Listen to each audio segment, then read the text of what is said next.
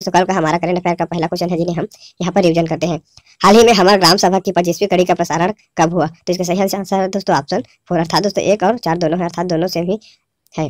चलिए दोस्तों यहाँ पर करंट अफेयर का नेक्स्ट क्वेश्चन है। हाल ही में देश के सबसे अच्छे मुख्यमंत्री की सूची में भूपेश बघेल को कौन से स्थान प्राप्त हुआ है? इसका आंसर इसका सही आंसर है ऑप्शन थ्री छठवां स्थान प्राप्त हुआ है। नेक्स्ट क्वेश्चन है, हाल ही में one nation, one ration card प्रदेश में कब लागू होगा? तो इसका सही आंसर है ऑप्शन थर्ड अप्रैल 2021 से प्रदेश में one nation, one ration card योजना लागू होगा। नेक्स्ट क्वेश्चन है, हाल ही में देश भर के विद्युत गृहों में छत्तीसगढ़ के विद्युत गृह कौन से स्थान पर है? इसका सही आंसर है ऑप्शन फ़र्स्ट प्रथम स्थान पर है। करेंट अफेयर सेशन का हमारा आज का पहला क्वेश्चन है। यहाँ पर देखिए करेंट अफेयर सेशन का हमारा पहला क्वेश्चन है। हाल ही में छत्तीसगढ़ राज्य सरकार बच्चों के लिए अलग से बजट तैयार करने वाला भारत का कौन सा राज्य बन गया है? इसका सही आंसर है ऑप्शन फोर चौथा राज्य बन गया है जो छत्तीसगढ़ बच्चों के लिए एक अलग से बजट तैयार करने वाला है। क्वेश्चन का स्पष्टीकरण देखते हैं। बच्चों के लिए राज्य में अब अलग से बजट ऐसा करने वाला देश का यह चौथा राज्य होगा। प्रदेश में हर साल करीब आठ लाख बच्चों का जन्म होता है और राज्य में इस समय नवजात से लेकर अठारह वर्ष तक बच्चों की कुल तादाद संख्या है अस्सी लाख करीब से आसपास है। इसके लिए विकास के लिए सरकार के आधा दर्जन विभाग की कई योजनाएँ चलाते हैं। इनमें महिला एवं बाल विकास तथा स्वास्थ्य विभाग मुख्य है। अकेले महिला एवं बाल विकास विभाग इस साल अपने बाईस सौ करोड़ के बजट में से बच्चों पर चौदह सौ करोड़ खर्च कर रहा है, जबकि स्वास्थ्य विभाग पचासी से नब्बे करोड़ खर्च करता है। यही राशि केवल टीकाकरण, बाल हृदय योजना और काली इम्प्लांट और मातृ शिशु योजना पर खर्च की जाती है। सेशन का हमारा अगला क्वेश्चन है, हाल ही में प्रदेश के कौन से जिला न्यूनतम समर्थन मूल्य पर धान खरीदने में प्रदेश में प्रथम स्थान पर है? तो इसका सही आंसर है ऑप्शन फोर जांजगीर चांपा जिला न्यूनतम समर्थन मूल्य पर धान खरीदने में प्रदेश में पूरा टॉप पर है। क्वेश्चन का स्पष्टीकरण देखते हैं। धान से हमारा जिला टॉप पर, टारगेट से 22 लाख क्विंटल दूर। धान धान से मामले में हमारा जिला जांजगीर चांपा प्रदेश के, में टॉप बना हुआ है। यहाँ अस्सी लाख के विरुद्ध तिरसठ लाख चौदह हज़ार क्विंटल धान की प्राप्ति हो चुकी है। वहीं चौंतीस लाख तिहत्तर हज़ार धान का उठाव भी हो चुका है, जबकि सेंटरों में केवल अट्ठाईस लाख इकतालीस हज़ार क्विंटल धान ही शेष बचा है। उठाव के मामले में भी औसत प्रतिशत अन्य जिलों से आगे है। ज़िले में दो सौ इकतीस धान केंद्रों में से इस बार समर्थन मूल्य पर धान खरीदी की जा रही है। पिछले वर्ष दो हज़ार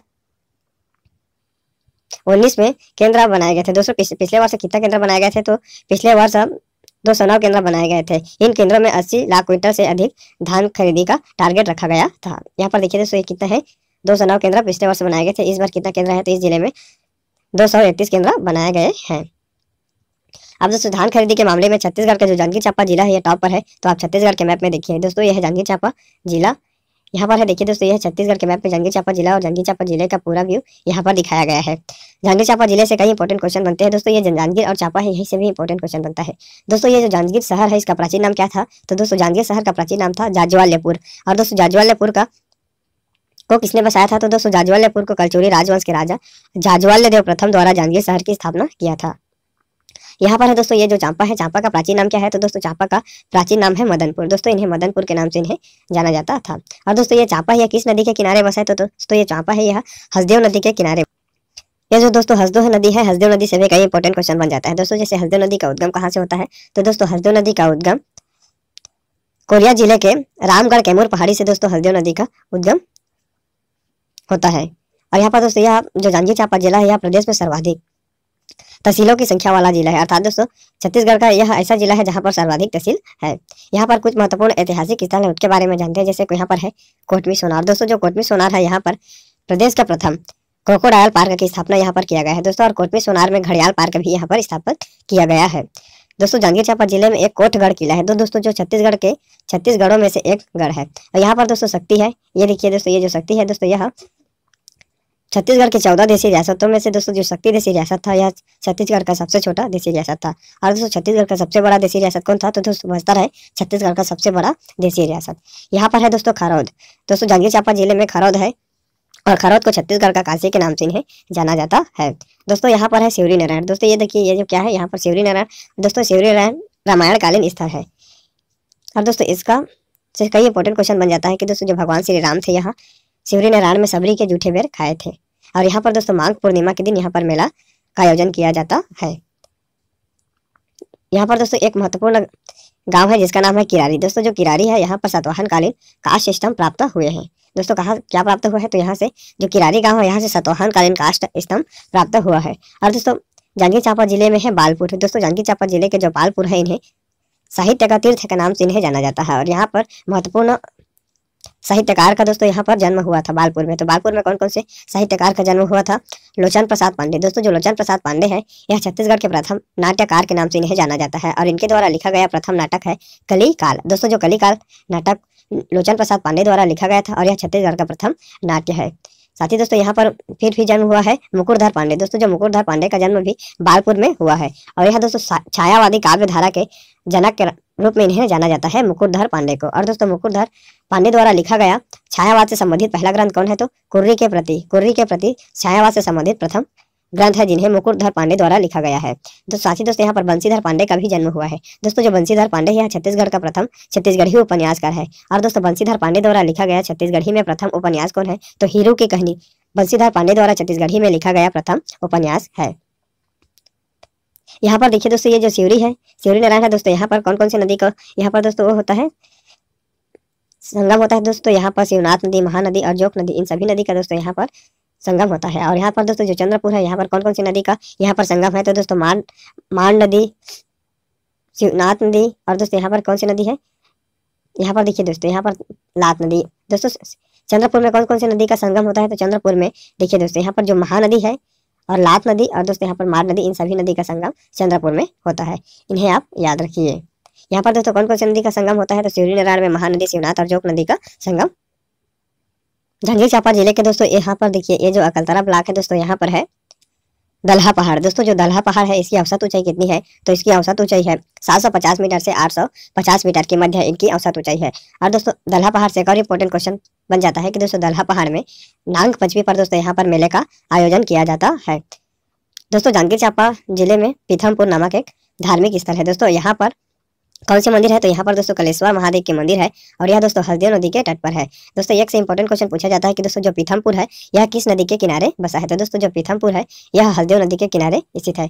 यहाँ पर दोस्तों चंद्रपुर में दोस्तों जो महानदी के किनारे बसा है और यहाँ पर दोस्तों चंद्र हासनी माता की मंदिर है चंद्रपुर में। आप इतने फैक्ट को इस क्वेश्चन से रिलेटेड करके याद रखिए। करेंट अफेयर सेशन का हमारा आज का अगला क्वेश्चन की ओर आगे बढ़ते हैं। यहाँ पर देखिए हमारा आज का अगला क्वेश्चन है, हाल ही में प्रदेश में पहली बार कितने प्रतिशत बजट का प्रस्ताव वित्त विभाग ने सभी विभाग से मांगी है। तो इसका सही आंसर है ऑप्शन सेकेंड छह प्रतिशत कटौती बजट प्रस्ताव वित्त विभाग ने अन्य सभी विभागों से मांगी है। अर्थात दोस्तों, इस साल जो बजट है, उसमें कुल कितने प्रतिशत की कमी होने वाला है? तो इसमें छह प्रतिशत की कमी की होने वाला है। दोस्तों, यहाँ पर छह प्रतिशत कटौती किया गया है। बीस साल में पहली बार कटौती का बजट, कोरोना का राज्य की अर्थव्यवस्था पर असर। छत्तीसगढ़ राज्य गठन के बाद अब से अब तक प्रदेश के बजट का आकार हर साल लगभग दस प्रतिशत तक बढ़ता है। लेकिन इस बार कोरोना ने सारी कहानी उलट दी है। पिछले साल अप्रैल से दिसंबर तक राज्य की कमाई में भारी कमी आई है। इसका असर प्रदेश के आने वाले बजट पर भी पड़ेगा। और 20 साल में ऐसा पहली बार होगा कि जब राज्य में कटौती का बजट पेश किया जाएगा। वित्त विभाग ने सभी विभाग को चिट्ठी लिखकर छह प्रतिशत कटौती के साथ प्रस्ताव मांगा था। इसलिए अब पूरे बजट में लगभग छह प्रतिशत कटौती तय मानी जा रही है। इसके बाद इस बार का बजट करीब एक लाख करोड़ रुपए होगा। दोस्तों, इस बार कितना का बजट होगा? तो एक लाख करोड़ रुपए का दोस्तों यहाँ पर बजट हो सकते हैं छत्तीसगढ़ का। करेंट अफेयर सेशन का हमारा अगला क्वेश्चन की ओर आगे बढ़ते हैं? यहाँ पर देखिए हमारा अगला क्वेश्चन है। हाल ही में परमाणु खनिज अन्वेषण और अनुसंधान निदेशालय के सर्वे के खुलासा के बाद प्रदेश के किस शहर में लिथियम का धान शुरू किया जाएगा? तो इसका सही आंसर है ऑप्शन थर्ड कटघोरा में। परमाणु खनिज अन्वेषण तथा अनुसंधान निशाला के सर्वे खुलासा के बाद कटघोरा शहर में लिथियम का खदान शुरू होगा। क्वेश्चन का स्पष्टीकरण देखते हैं। चीन पर निर्भरता खत्म करने छत्तीसगढ़ के कोरबा ज़िले में लिथियम की खदान होगी शुरू। छत्तीसगढ़ के कोरबा ज़िले में लिथियम का भंडार मौजूद है। परमाणु खनिज अन्वेषण और अनुसंधान निदेशालय के सर्वे में इसका खुलासा हुआ। सर्वे का जो रिज़ल्ट आया, इसके अनुसार ज़िले में पर्याप्त मात्रा में रेयर अर्थ एलिमेंट्स की उपलब्धता है। हालाँकि, अभी इस पर शोध जारी है। ज़िले के कटघोरा वन मंडल के गढ़हटरा क्षेत्र में लिथियम का उपलब्धता को लेकर सर्वे किया गया था। सौ स्क्वायर किलोमीटर क्षेत्र में एक सौ अड़तीस नमूने के एकत्र किए गए थे। इन नमूने को जाँच के बाद पता चला कि यहाँ रेयर अर्थ एलिमेंट के साथ के साथ ही इससे संबंधित तत्वों का भी पर्याप्त मात्रा मौजूद है। अब दोस्तों, छत्तीसगढ़ के कोरबा ज़िले के दोस्तों, जो कटघोरा है, यहाँ पर लिथियम खदान शुरू किया जाएगा। तो आप छत्तीसगढ़ के मैप को देखिए दोस्तों, यह छत्तीसगढ़ के मैप, और छत्तीसगढ़ के मैप में दोस्तों, यहाँ पर है कोरबा जिला। और दोस्तों, कोरबा ज़िले का पूरा व्यू यहाँ पर दिखाया गया। दोस्तों, यहाँ पर देखिए, ये जो मैप है, यहाँ पर है कटघोरा यहीं पर है दोस्तों, लिथियम खदान शुरू की जाएगा। अब दोस्तों, यह कोरबा जिला है तो कोरबा ज़िले से कई इंपॉर्टेंट क्वेश्चन बनते हैं, उन्हें भी यहाँ पर देखने का प्रयास करते हैं दोस्तों। कोरबा ज़िले का गठन कब हुआ था? तो दोस्तों, कोरबा ज़िले का गठन उन्नीस को हुआ था। और दोस्तों, कोरबा जिला है, यह किस नदी के किनारे बसा है? दोस्तों, जो कोरबा है, यह हसदेव नदी के किनारे बसा है। और दोस्तों, हसदेव नदी का उद्गम कहाँ से होता है?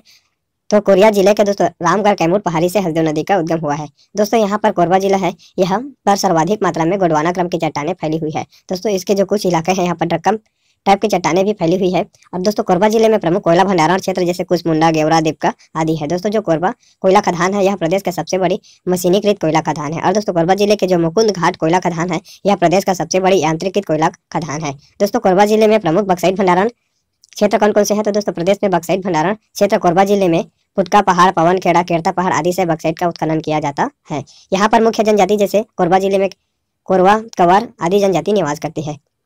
दोस्तों, कोरबा में जो एनटीपीसी कोरबा इसकी स्थापना कब हुआ था? तो दोस्तों, कोरबा के एनटीपीसी की स्थापना उन्नीस सौ अठहत्तर को हुआ था। और दोस्तों एनटीपीसी कोरबा से उन्नीस सौ तिरासी में विद्युत उत्पादन का कार्य प्रारंभ किया गया है। और दोस्तों एनटीपीसी कोरबा से कुल कितने मेगावाट का विद्युत उत्पादन किया जाता है? तो यहाँ से दोस्तों, टोटल छब्बीस मेगावाट का विद्युत उत्पादन किया जाता है। दोस्तों, कोरबा ज़िले में है बालको। दोस्तों, जो कोरबा ज़िले में बालको है इसका पूरा नाम क्या है दोस्तों? इसका नाम है भारत एल्यूमिनियम कंपनी लिमिटेड। दोस्तों, इसका जो नाम है बालको, और दोस्तों, बालको की स्थापना कब हुआ था? उन्नीस को बालको की स्थापना हुआ था। और दोस्तों, बालको से उन्नीस सौ पचहत्तर में यहाँ से उत्पादन कार्य प्रारंभ हुआ था। फिर दोस्तों, यहाँ पर जो बालको है, इसे दोस्तों 2001 में। दोस्तों, जो स्टारलाइट कंपनी द्वारा दोस्तों, इनके जो कुछ हिस्सों का शेयर को खरीदा गया, जिसके कारण अब दोस्तों, जो बालको है, यह संयुक्त रूप से उपक्रम है। दोस्तों, यह पहले सार्वजनिक उपक्रम था, लेकिन दोस्तों, अब यह वर्तमान में संयुक्त उपक्रम। दोस्तों, कोरबा ज़िले में स्थित कुछ महत्वपूर्ण ऐतिहासिक स्थल के बारे में जानते हैं। दोस्तों, यहाँ पर है तुम्माड़ दोस्तों, जो तुम्माड़ है, यह छत्तीसगढ़ में कलचोरियों की प्रथम राजधानी है। और यहाँ पर देखिए दोस्तों, ये जो पाली है, यहाँ पर है पाली का शिव मंदिर। दोस्तों, जो पाली का शिव मंदिर है, इसका निर्माण किसने कराया था? दोस्तों बाढ़वंशी शासकों द्वारा पाली में स्थित शिव मंदिर का निर्माण कराया गया था। और दोस्तों, ये जो पाली है, यह बाढ़वंशी शासकों की राजधानी भी हुआ करता था। और दोस्तों, पाली का जो शिव मंदिर है दोस्तों, इसका जरोड़ो उद्धार किसने कराया था? तो कलचुरी राजवंश के राजा जाजवल्ला देव प्रथम द्वारा पाली में स्थित शिव मंदिर का जरोड़ो उद्धार कराया था। दोस्तों, कोरबा ज़िले में है छुरी कोस गई। दोस्तों, जो छुरी कोस गई है, इसे कलचुरी राजा बहरेंद्र शाह द्वारा दोस्तों, यहाँ पर इनकी राजधानी को स्थानांतरित किया गया था। दोस्तों, यहाँ पर है चैतुरगढ़। दोस्तों, जो चैतुरगढ़ है, इन्हें छत्तीसगढ़ का कश्मीर के नाम से जाना जाता है। और दोस्तों, चैतुरगढ़ से एक और इम्पोर्टेंट क्वेश्चन पूछा जाता है कि चैतुरगढ़ में स्थित महामाया मंदिर का निर्माण किसने कराया था? तो दोस्तों, चैतुरगढ़ के महामाया मंदिर का निर्माण कलिंग राज द्वारा कराया गया था, दोस्तों, और ये जो कलिंग राज है, यह छत्तीसगढ़ में कलचोरियों की संस्थापक के नाम से इन्हें जाना जाता है। और दोस्तों, रतनपुर के महामाया मंदिर का निर्माण किसने कराया था? तो दोस्तों, रतनपुर के महामाया मंदिर का निर्माण कलचोरी राजवंश के राजा रत्नदेव प्रथम द्वारा कराया गया था। यहाँ पर है दोस्तों, लाफागढ़। दोस्तों, कोरबा में है लाफागढ़। और लाफागढ़ को छत्तीसगढ़ का चित्तौड़ के नाम से इन्हें जाना जाता है। दोस्तों, यहाँ पर है कुदुरमाल। दोस्तों, जो कोरबा ज़िले में कुदुरमाल है, यहाँ पर कबीर पंथियों का पवित्र स्थल है, जिसकी स्थापना मुक्तामणि साहब के द्वारा स्थापित किया गया है।